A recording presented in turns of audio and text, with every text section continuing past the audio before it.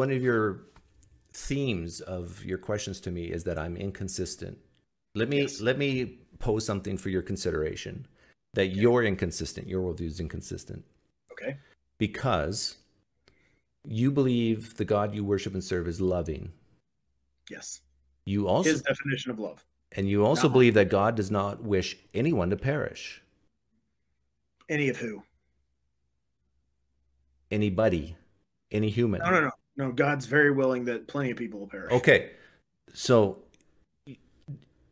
you believe that God creates people for damnation on Yes. purpose.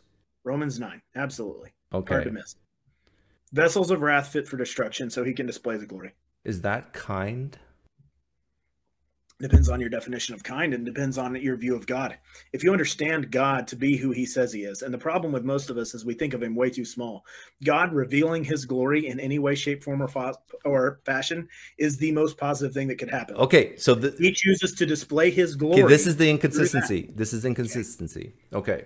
Uh, I'm going to do it in form of um, a story. You you and I are walking down the street and we see someone take a knife and stab another person on the street. okay. You and I look at each other. I say, "That's bad. I mean, we need to call the cops, or Okay. or intervene. Like maybe it's they're going to kill." What do you say? Do you say that's bad or good? Well, I was a paramedic for five years, so I say let's start plugging holes and getting fluid. Right, Yeah. but you say that stabbing's bad, right? yeah, this this is not a good thing. No. Okay, this is where you're inconsistent. Okay. What if God decreed it, like caused it? Okay. Would you still say it's bad? Walk into the trap.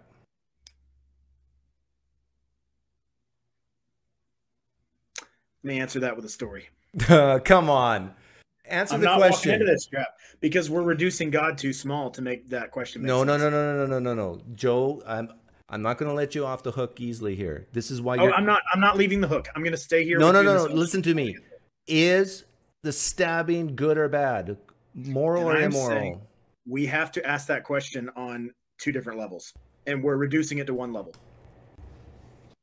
And I have to know which level we're asking. You notice you didn't say that when when I asked you initially. You said we got to start plugging holes. You didn't say, "Well, I'm not going to plug holes or stop the more stabbing until." You're asking philosophically whether it's good or bad.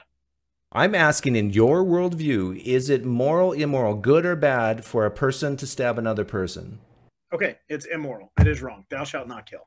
Okay, and what if some if God Himself told that person to do the stabbing? Is it immoral or moral?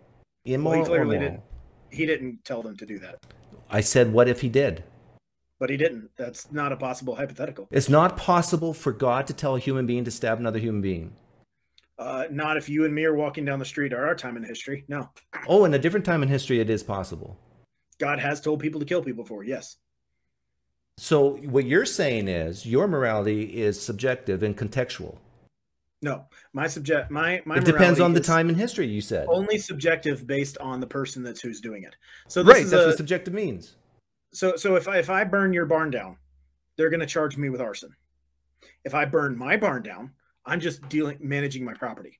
There's a big difference between how God deals with people and how we deal with people. You just A said person- you just said a stabbing, whether it's right or wrong, depends on when it's done in history. That's Nope. I said God telling people to do it depends on where your history, not the morality. or right, right, right. Yeah. The morality or immorality of it is is based in whether or not God is commanding that thing to be happening. Okay. So if God tells someone to go kill an evil nation, that's God doing property management with his property. If I go do it and God hasn't told me to do it, that is immoral because he's giving me the Ten Commandments. God's a little bit like Trump, right? He loves real estate. Um, so this is why I find you inconsistent because on the one hand, you will say you and I would agree seeing someone stab another person on the street is wrong, but on the other hand, if God truly commands it, you deny the hypothetical. You say God would never do such a thing, which I want to ask you about next. But you say, and this is where you're inconsistent, well, it actually could be good if God commands it. Right? you won't let me answer with the two levels. So What's the second gonna- level? So here, here's here's So the first level it's wrong. Second level it's Not it wrong. is wrong for humans to kill each other. It is not wrong for God to deal with humans as he sees fits. Those are two different levels. Right. This is like so. What determines what's right or wrong is you actually God. have to get into the mind of God. Yeah. Okay. So so the next time you see someone rape another person, mm-hmm. steal, murder, you got to ask yourself the question, maybe God wants this to happen. Nope. Why not? Because God never works inconsistently with his word. And I live in the New Testament and under a new covenant. And it's been very clear that humans are not to kill each other people. But Jesus commanded people to kill people. Mm, trying to remember where exactly that happened. Put me in some context there. Help me understand. Well, Jesus is God, yes? Okay. Yep. Yep. Okay. See what you're doing. So yes, when God deals with people, that's His business because He's the potter and we're the clay. And even in the New Testament, uh, Ananias and Sapphira. Yep. Yep. But then God handled them. He didn't. In end times, uh, what a third of the world's population is going to die. Yep. So this is well, maybe God's commanding angels to do it at that time, but who knows? It's Probably people killing people. So you believe in a God who commands people to kill other people, right? So the next time you see someone kill another person, or if you ever see that, I mean, you got to ask yourself, maybe God wants this. Maybe this is a good thing. I know that God's sovereign will is for that to happen and that he will work it out for good according to those that are called according to his purposes. However, for a human in this covenant and this time in history to kill another one is going to be wrong. How do you I know mean, how do you know that? Okay, like if somebody's getting raped and then somebody defends the person and then kills them, well, then that's not exactly murder. I mean, it depends on the kind of way. No, but how do you know God could not command or decree or cause a human to kill another human today? Because there were God was very clear about that in His Word. He said, "In the old times, God did it this way, and then now in this covenant, this is how He did it." And then Jesus reaffirmed the hmm. Ten Commandments. Yeah, but it's not murder if God's commanding it. But God doesn't command people to murder each other or, or to tell, tell each other in this covenant. That was the Old Testament. Where does so it say? To... Where does it say that in the Bible? That are you saying there's no such thing as just wars today that God's behind? I, I don't really. Mm, okay, we're going to just war theory. Wow. Well, no, uh, I, I'm just saying like because that that is part of this. Are you saying God could never use the United States as a force for His divine goodness? Basically, oh, commanding people to kill other people. You as a Christian, I don't think can go there. Yes. Okay, so God can use that sovereignly to to accomplish what He wants to. Yeah. yeah. And if He can do this from nation to nation, surely He can do it from person to person, community to community. Oh, sure, hundred percent. Okay, so you're backing off on that. So God can command a person today to kill another person.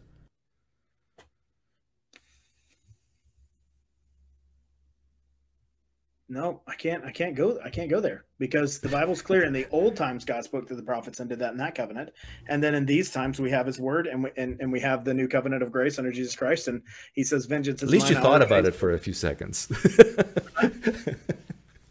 yeah, I mean, yeah, I, I just I think that's that's a fun question to ask, but it confuses hermeneutics in the covenants and the in the two testaments and how God has dealt with people over different times. It confuses those things and pretends they're one and they're not. But this is the inconsistency in your worldview. Basically, the whole concept of love, kindness, evil, sin, what you think you see as love and kindness and evil and sin might be the exact opposite, depending on whether God has sanctioned it or not.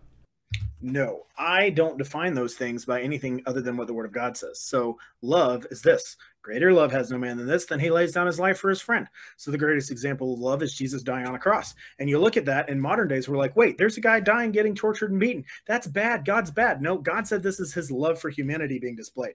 So, I'm going to define it the way God defines it and go with his definitions, not just, oh, this is how I feel, or this is what I see, or this is what I think. Because remember, I'm not in the judge seat, God is in the judge when seat. God executes his justice, isn't that a form of love as well?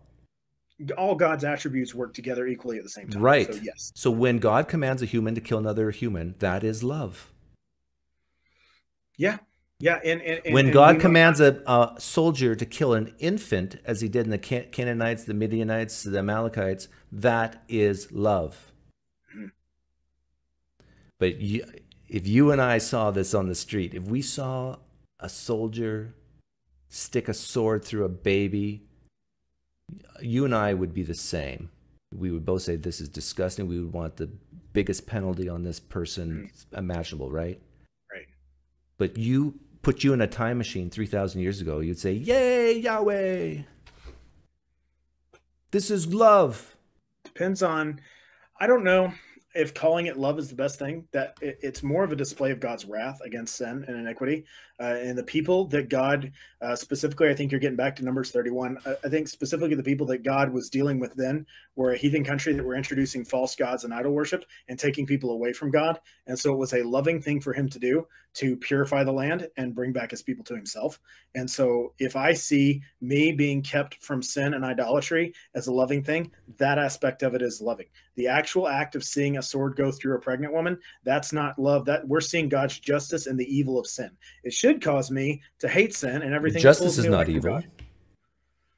No, but we can admit that it doesn't look good. I mean, I don't care if, if you don't have, if you had zero context at all and you saw someone on death row get in the electric chair, if, I mean, that's going to be a pretty gruesome thing. That's yeah, not going to be I agree. But if they've raped, pillaged, and murdered their whole life, it might make a whole lot more sense. And there's another way in which I might be glad to see that happening because the reign of terror is over. You know. So would you apply that to were... hell then as well? Like you said, when you watch an execution, it's not a good thing to look at. It's it's it's revolting. It's revolting. Yeah. Yeah. yeah. So oh, I would say hell would be the same way. So you would say hell is revolting. Yeah. Oh yeah, that's going to be an awful, nasty pit, dude. It's not going to be good at but all. But hell exists because of God. Yeah. So God